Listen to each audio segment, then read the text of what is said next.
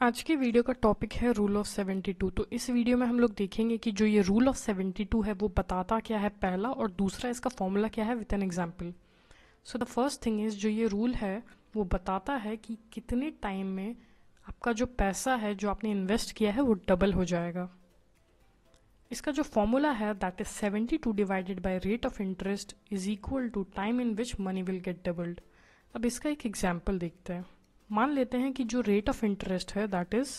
Six percent तो अगर seventy two को सिक्स से डिवाइड करेंगे तो ट्वेल्व आएगा। तो इसका जो मतलब है वो है कि सिक्स परसेंट का इंटरेस्ट अगर आपको किसी जगह से मिल रहा है तो उस पैसे को डबल होने में लगेगा ट्वेल्व ईयर्स अब बहुत लोग ऐसे हैं जो पूछते हैं कि ऐसा कोई स्कीम है क्या जिससे जो पैसा है वो डबल हो सकता है तो उसका आंसर है नहीं।